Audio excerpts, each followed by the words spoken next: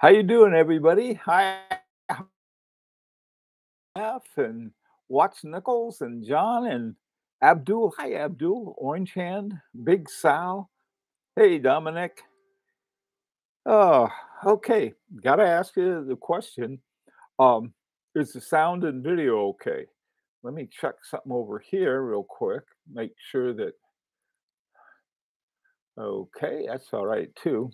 Got to check all of my instruments. Doing a free uh, pre-flight check. Hey, Rancher. Okay, everything sound video are good. Okie doke. Um, let me see here. Oh, I'll get them out later. Too big of a hassle. What I wanted to talk about today is, is something that is is sort of like, well, I got this watch, I really like it, but I never wear it.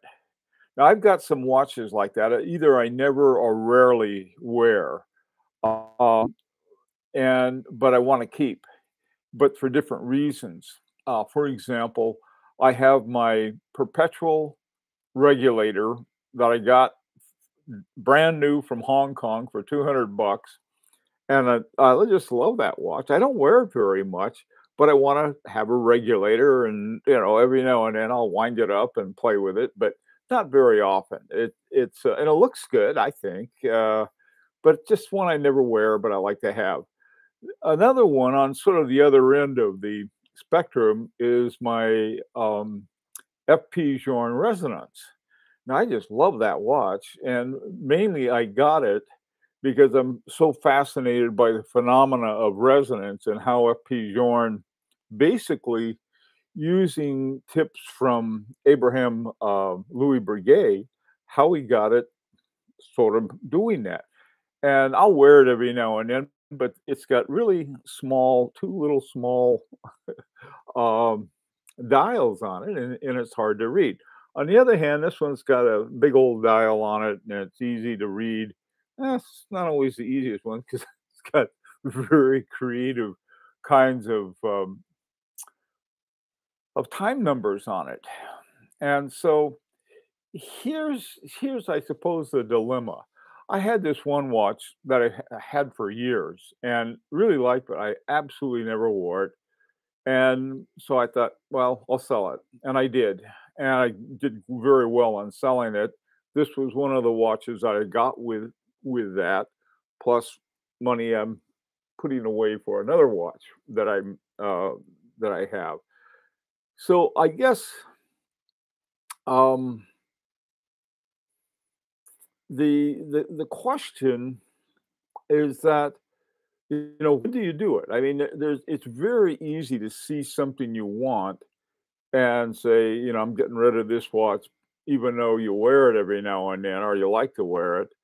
Uh, and that's not what I'm talking about. I'm talking about ones that are like real case queens that you never wear or almost rarely wear. Um, and then there are the ones like I just mentioned, the ones that you're not going to sell for whatever reason, even if you don't wear them too much. So let me hear your your wisdom on that, and what do you have to say? Uh, how you doing, Tim? Good to see you. Um, half your pieces, huh? Um, hey, Tim. Patrick, how are you? Good morning to you too. Phenomena. Uh, same here as well. I have a couple of vintage pieces that I rarely wear, but I managed to get them down to four pieces. All the rest I sold. Yeah. Hey, lease time. How you doing? Um, how are things in Hamburg? Uh, sellers market uh, at the moment. So now is the time. Yeah, that's true. Very true. Uh, now is very much of a seller's market. Hi, Canadian Watch Monkey. Good to see you. Andy Candy, how are you? Um, ordered uh, the So Heritage Petite Seconde from Jonah Shop uh, during um, the BF sale. Good for you. That's now that's that's the kind of watch you don't have to spend a lot of money on. You got a cool watch, wind it up, you can wear it, and You know what I'd do with it, uh, that watch? I'd get a I'd get a cool, uh, band for it, you know, not necessarily a real expensive one, but a cool one. Uh, you know, maybe I'll do that. Um Hey, John, what do you think of Mont Blanc? Oh boy, that's a good question, and I'll tell you why. Mont Blanc is a a brand. I think they're owned by Richemont now, if I'm not mistaken, and they're um, they have interesting movements that somebody else did. Um, their Minerva movements, I think, are are amazing ones, uh, but not all of them are that way. Mont Blanc is is one of those funny ones. I there's something about them I like, um, which is which is interesting because I'm not crazy about Mont Blanc pins, but I I do. There's something about their watches that I like. Um, years ago, God, when was it? 2011 maybe, which now was 10 years ago. They won the uh, sports award at the Grand Prix, and the watch they had was uh, I know it was either no, it wasn't sports. It was maybe it was sports. I'm not sure. It was either sports or um, travel, one of the two. And I have this sort of this world timer, and I've always been tempted to get it. It's very inexpensive. It's called, I think, the Star World Timer, and um, you know, just sort of a cool watch to have for a. Uh, but uh, you know, I, I, I think about it, and eh, maybe not. I don't know. So there, there's my opinion. Well, you can see it's sort of wandering around. Hey, Mark, how you doing? How are things in New Zealand? My goodness, must be. Let's see, either very late at night or very early in the morning tomorrow.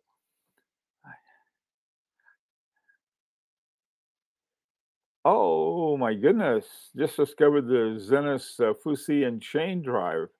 Those I haven't seen. Um, most of the fusee and chain, if I don't get going, um, I'll miss out on on some that I know are available. Uh, this guy that I know has some uh, pocket watches with fusee and chains. He bought a whole bunch of them, and I was going to go uh, see him about it. He lives up in Massachusetts, but I didn't because of the pandemic. And you know, you get man, I tell you, pandemic makes people lazy. I just don't want to move anymore. I don't want to drive, you know, 50 miles or anything like that.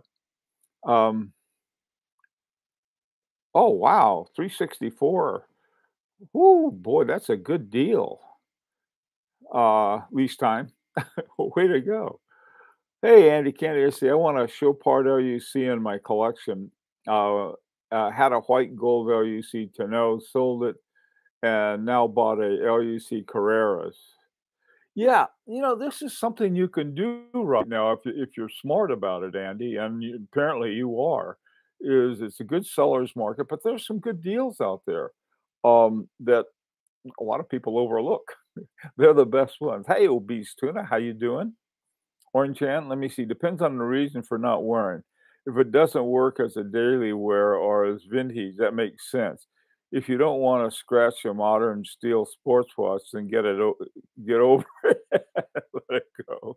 Yeah, you don't want to you don't want to scratch your watch. Well, I don't know. It's like a new car, man. I tell you, you're just waiting for the first scratch or the first nick or something. Uh, I guess it's the same with watches. Um, I don't know. This this guy, uh, this one is um, Roger Dubuis Simplicity. Believe it or not, I thought it was a uh, Excalibur when I got it. But but it's it's actually, uh, but it looks like a um, Easy Diver. You know, it, it it's a funny kind of watch, and the more I wear it, the more fun it is. And one thing I noticed because of the way the Roman numerals are, if I turn it a certain way, it looks like the the dial is loose in the case and shifts one way or the other. Um, you know, so that's sort of like a thing. And this is the kind of watch that I'm not going to worry about. You know, uh, go out and do a lot of different things and not have to worry about it. Uh, you know, I wouldn't take out my, um, for example, I might go, there's got these boards on my shed that need replacing. I go out there and bang it up, and put some tar paper ar- around it to keep it for now. And, uh, but, uh, you know, if I had on my Resonance or any of my my FP Journe or H. Moser or some of my really good ones, I wouldn't wear those. But with a watch like this, one way you get to wear it a lot, or you do wear it a lot, is that you can sort of bang around and not have to worry about it. Uh, I think a good questions are people panic buying or bargain buying in this seller's market?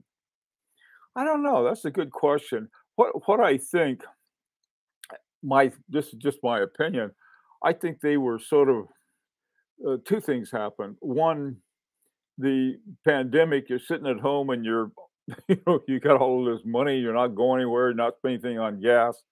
And that did accumulate. Um, so people have a have some money set aside and watch uh, collectors being irresponsible because of some DNA in them to go out and buy something they they they feel a need.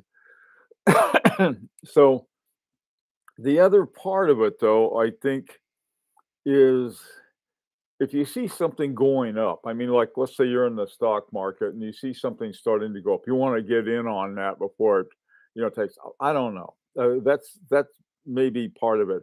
I think that's a terrible reason to buy a watch uh, because you're scared of losing out on something. I I think if you if you find a watch you like, just be patient about it. It it's, um that usually pays off pretty well. Hey, Zeus. Um,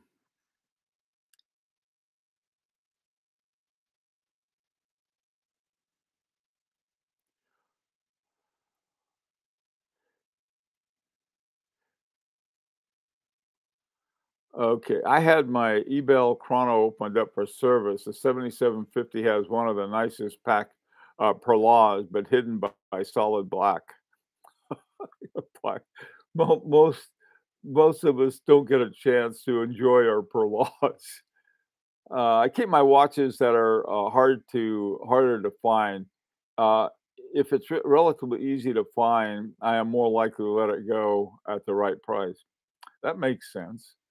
I've got one that I never absolutely use, and I'm very tempted to sell, especially now because I think it would, I think it'd do quite well. But you know, it's sort of like, boy, that would, do I really want to do that? Even though I, you know, I, yeah, that's another thing too. It's sort of like if you have a watch for a while and you really enjoy it, and the one that I just sold, I really did enjoy it. I wore it a lot at some point, but then at some other point, it just faded uh, in terms of use and everything else. And I thought, well, this is the time to sell it. And I did. And that worked out okay. I haven't missed it. In fact, I haven't missed any of the watches I've sold. I mean, they were, I enjoyed them while I had them, but it's sort of like, okay, you know, um, that was great. But, you know, it's not like chewing gum. You don't want to chew up a watch and spit it out, but rather it is something sort of sort of uh, you know this is not what i need right now or anymore and this is something i really would like to have.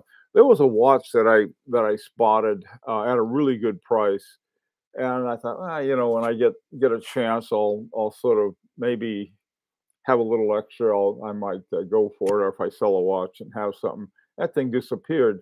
But see the thing of it is you know, there's no point in panicking about it uh, it's gone, it's gone. It doesn't mean it's never coming back or some even better deal would come back. So that that's another thing I, I don't worry about. Like, oh my goodness, if I don't get it right now, I'll never get it.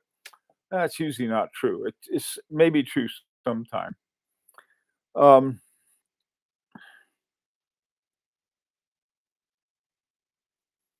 yeah.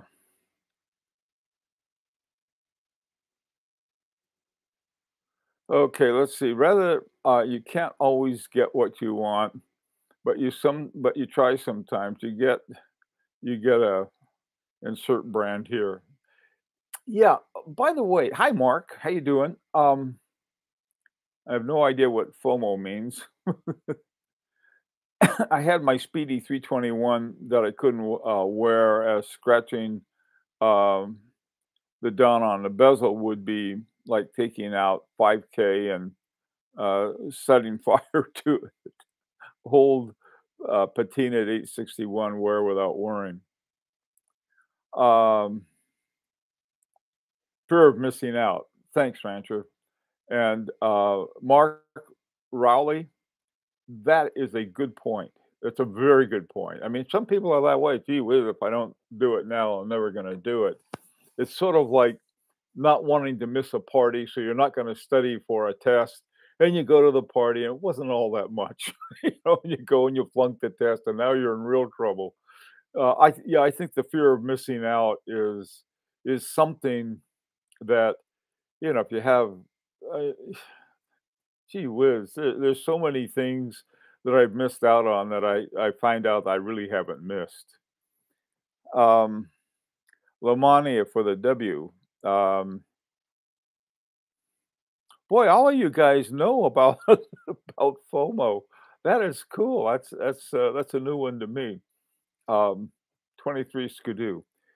Hey, oh, Tuna, what's up? If you try something, you get uh, what you need. The Rolling Stones. Well, you know the Rolling Stones are still alive. If the fact that Keith Richards is still living is sort of really ruins all of the anti-drug messages. Um, buy two, one to rock, one to stock. Well, now that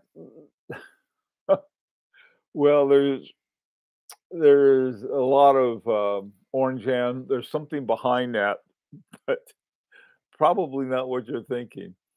Okay, um, let me sort of with a related not related, somewhat related, I guess. And I, and I sort of wanted to ask you guys about this.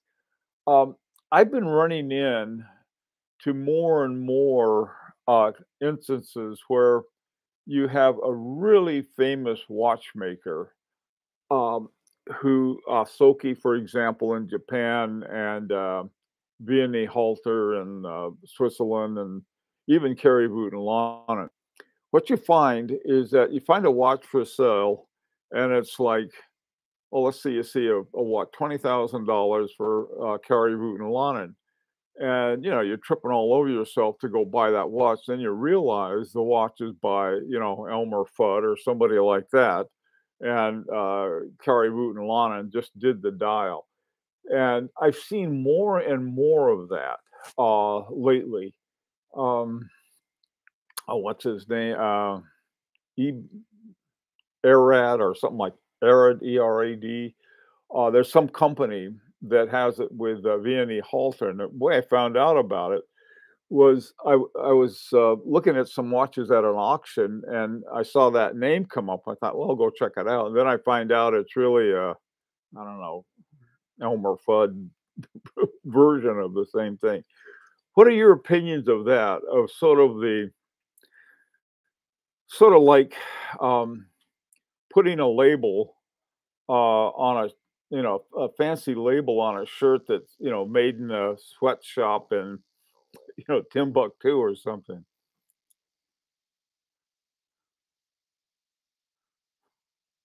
Okay, no opinions. Okay. Um,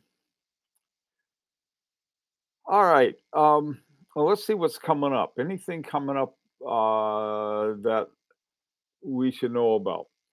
The I recently, in fact, just what's today? Uh, yesterday. Hi, Richard. Uh, Etienne Schwarz makes a watch with the Voutilainen dial. Yeah. Okay. Good example, Richard. Um, here's the thing. Uh, oh God, I'm going to say it wrong. Etienne Schwarz is really a pretty good watch in and of itself. Uh, I was look at some of those movements, and that is a sweet movement they have. And the um, MES 111, and then the ones that are sort of based on that. And that uh, uh you're right about that example, but that is sort of strange in this respect.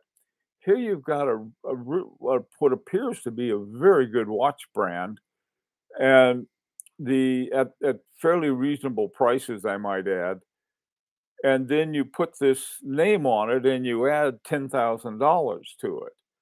Now, you know, for the collector, you know, all you got to do is look at that, um, the Etienne Schwarz, and you realize it's not a it's not an eighty thousand dollar Kari and Vinge Jake, but rather it's this other thing. And it sort of, to me, may actually hurt the brand itself uh, in in this respect because it's got a name without substance, except for the decoration. I will say this in that particular watch, Kari Voutilainen has won, I think, more than one of the Grand Prix awards, not for movements, not for uh, complications, but rather for artistic uh, artistic dials, and he's very good at it. He has some amazing things on that, but uh, I don't think that he is is sought after primarily as an artist, but rather as a watchmaker. Uh, what are some other thoughts on anything? I mean, is this this something that you guys might uh, might go get? Hi, Mark. How you doing? Um, not good business practice. Sort of, Dominic. I I guess that's sort of my opinion too. It unless is there what um, Asaoka in uh, Japan has said. I forgot the name of the brand that has. So he did the dial, I think, and then this is sort of like design the dial and then have you know somebody whose job it is to decorate dials use that design or simply have it you know stamped on.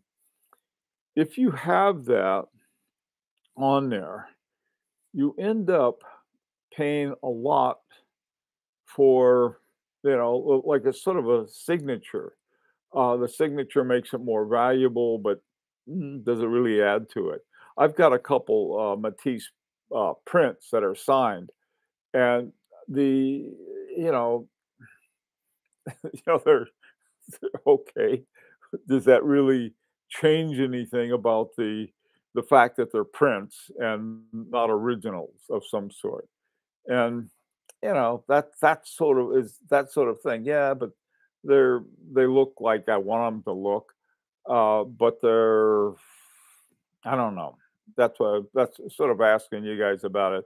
You know, I I here's what I think some people may get the sense of is that it it may be a knockoff. Ah, you got a knockoff, but it's not a knockoff. It's something else.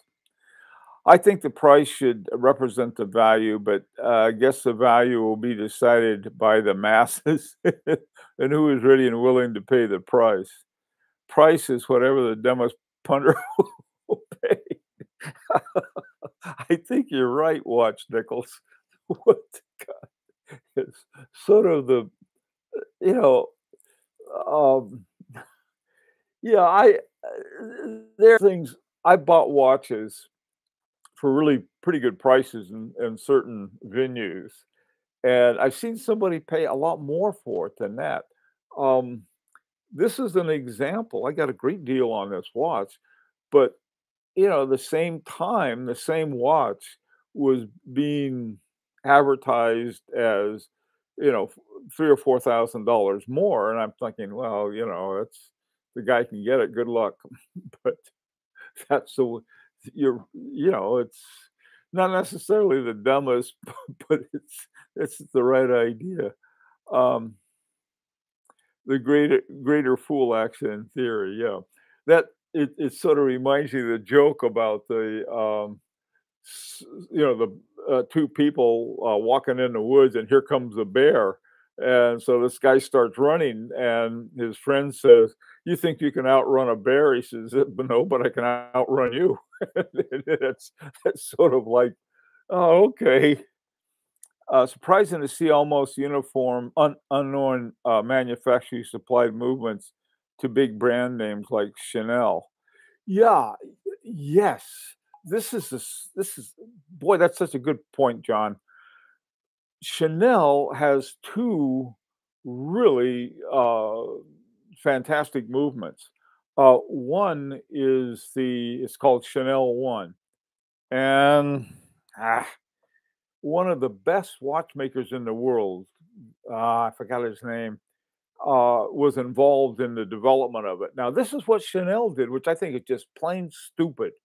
Um, they said, "Oh well, you know, our our our watchmakers, you know, who Larry Moe and Curly were there, they were working on it, you know, and then so and so came along and sort of helped them out. It was the opposite. And rather than saying, we got, oh God, I forgot his name. We got so and so, one of the top watchmakers in the world, to design this watch and help us put it together. Why they don't do that, I don't know, John. That's that's a great point. The other one by Kenissi uh, in the J12. I forget I forgot what the movement name is. I think it's Kenissi. Maybe it's Kenissi 12.1 or something like that.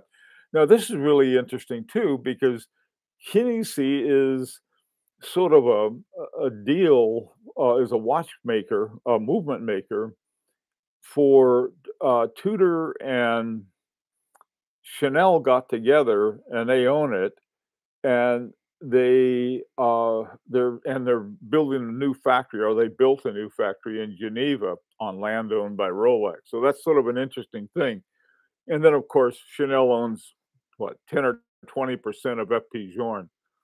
Lots of you know and great time to say, look, this is who made this is who made a watch. If I made a watch, I would on the back on the dial, I would say this uh, movement was made by so and so, as opposed to we don't know who made it. it's Swiss made or something like that.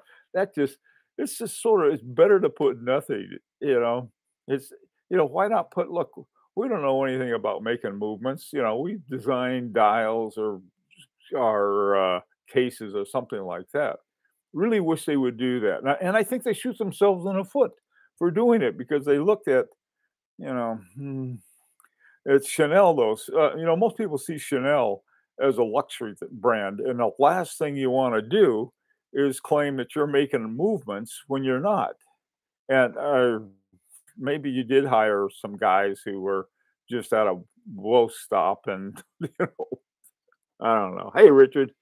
Yes, uh, Romain Gauthier. He designed uh, Chanel exactly. Thanks, Richard. Hi, old oil money watches. Uh, when I go camping, the uh, the bears hide their food.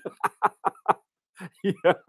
Oh man, we we've got right now. We have so many bears. The bears in uh, where I live are all getting ready for their uh, hibernation. Apparently, they just eat everything. Um, so Hey, Jonas. Well, luxury items uh, and great value don't uh, match very well. Yeah, uh, they can or they don't have to. I mean, you have on the one hand, Jonas, you got something like Van Cleef and Arpels, that you got great luxury items, and then they have great movement. So, you know, and they go out and they get someone, and then they also they they sort of dribble out like where the movement came from. Oh, it has a movement. it's like, yes, we went out and we got the very best because they usually do. Same with uh, Fabergé you know, you, you hear Fabergé, you don't think great watches and great movements, but they have some, and they've won awards for it. And it's usually because of the great movement. I uh, I, I really wish they would do that more. Hi, lease time. How you doing? Uh, which Nomos, if my sweet spot normally is 38, to, I hear that Nomos um, were quite large. They could. Um, you know, 38 to 39 millimeters, you got to find a Nomos that'll do that. If if if you if if they were large, maybe you can go for a 36 and see what happens. Hey Truman, uh, see right for Tudor, uh, Norcoin, 20% by Chanel. Hey, how you doing, man? Thanks. Yeah, full disclosure. What? Here's the thing is that they act as though this is going to kill them. Say, oh, if we tell the truth, everyone will know we don't make, you know, here they've been making perfumes and foo-foo for years, and suddenly they want to get into the watch business, and but they want to tell, they want people to believe that they've got really the top watchmakers. Nah. All they got to do is is is you know really feature the watchmakers. You take like in book publishing, if they got a good author they're going to feature the author. I, I just got a book the other day and they had the author at the top, great big letters. And it's because an author I happen to like. And, um, you know, the book company didn't say, like, you know, all the words fell in there somehow, and so we got a really good book. It's crazy. Um, I have 36 millimeter Nomos Club, and it wears amazing. Subjective. Uh, never knew the uh, inventors who were behind ETA 7750, Zenith 400. That's a good point, John. Yeah, you know the, the um, what was it? Uh, Valjoux 7750. It I, I think it'd be worth waiting. You know, uh, kind of must be about five or six years ago, maybe more. Uh, Constantin surpassed Patek Philippe in having the most complicated watch. From 1900 to 2000, uh, from 1900 to 1989, uh, El had the most complicated watch. And then Patek Philippe made the most complicated watch. And then I think it was in 2013 or thereabouts, um, Vacheron Constantin made the most complicated watch. Then the year after that, or a couple years after that, there were these three watchmakers who worked at um, Vacheron Constantin who won a Grand Prix award as I don't know for you know making that complicated watch. I forgot the name of the award that they had for them, but I agree. You know, you know, it, it, it's like it's it's like the book business. The book uh, publishers finally realized that people would buy certain authors over others. Hey, Lee Stein, what's up? Um,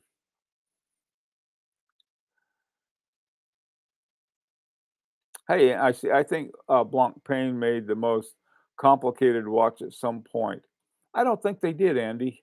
Um, at least not before, maybe before 1900, they may have uh, but not between 1900 and now, because those are the the other three were.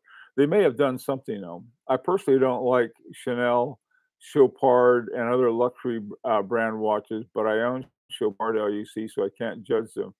While Chopard is using ETA movements, the LUC is something else.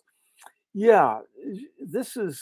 Um, I like Chanel watches. I would love to have one of their watches. The the um, the Mon, it's called Monsieur, something like that. It's got jumping hours at six o'clock. Beautiful watch, and and of course I know it's you know the movement was uh, by um, ah he had it up here for me. I forgot what it was already, the the the point is is that I think the big mistake that a lot of people make is that they hear luxury brand like Chanel, like Hermes, like a lot of these other ones, and just assume, well, you know, that, that's a that's a luxury brand, doesn't count. Uh, and that that's no longer true. Some of the most interesting, some of the most innovative movements have been in the uh, Hermes line, the uh, Suspendu, the um, now there are a bunch of other ones they had. The movements were not by are the the complications were not by um, Hermes, and oftentimes they weren't even by Vaucher, who Hermes owns 25% of, but rather they were by Agenhor, who put it, who made the complications for them, and that's why they won awards and things like that. Hey, Mark G, uh, sentiment on most beauty brands, but Hermes and Bulgari are are counterpoint uh, Bulgari, there is a really, really, really, really good buy. I was just looking at them before we started to, uh, this morning on the Bulgari. It's called the uh, Octo Roma. Let me see. Yeah, it's the uh, the Octo Roma. They're under four thousand dollars at brand new. I saw I, I saw one at Jomashop they have the BVL 191 movement, which is a, uh, a Bulgari movement. Great deals. What happened was that the Finissimo, which I think is a lot thinner, uh, sort of everybody wants one of those, but the Octo Roma is has is really good. Also, too, the Octo, this came really was was um, uh, Gerald Genta's contribution he was the guy who had that. So that's another thing. See, this is the thing about it. This is why I I I think Bulgari just squandered the talent of uh, especially of uh, Daniel Roth. He was working for him for a year, didn't enjoy it. Uh, it, it was not a it was not a good thing for him. Uh, Tark Chaudhary, that's the one. Chanel Monsieur, it's a cool watch. I agree. Um, Piaget, Piaget is another one. Let me ask about this. Um, Piaget, um, yeah. Now Piaget is is has this about them. Um, they Richemont owns them, and they started making movements at Val Fleurier. Now, the the base movement they have was, I think, the one developed by Carol Kasapi, somebody or other, uh, when she was at Chanel, and she was running a movement uh, bunch at Chanel. She won the Watchmaker of the Year, which is not too many people have ever won that. So you have this really good movement, and then Val Fleurier uh, has taken over the production of it, and it's used by Piaget, uh, Cartier, and sort of, if they will even tr- begin to admit it, in the bottom level, uh, the entry level Vacheron Constantin 1056 and that thing I think is that's sort of their entry level around twelve thousand, which isn't cheap, but people act as oh well, it doesn't have a uh, um, a Geneva seal like all of the other ones in Vacheron Constantin. So is the Vacheron Constantin, and, and by the way, too, Vacheron Constantin claims that in their entry level 56, the movement that's used, they actually, you know, did a lot to it. Uh, when it, when it, I guess I both showed up from uh, Val Fleurier and they got their hands on it and said, you know, this isn't good enough for us. Uh, the most complicated watch is the one you have to explain to your wife. yeah, that's the most complicated. Uh, okay. Um, holy smoke, we, we went over time. Did I did I miss the message? Okay, guys, I've got to go. Um, the new viewers now is a part of the show where Bill hits himself repeatedly in the face with a frying Neff. Okay, thank you all. Uh, we're going to have this. We're, going to talk about some of these things again at uh, four o'clock. Thank you guys for coming and putting up with me. so I'm glad you did, and. Um, We'll see you later.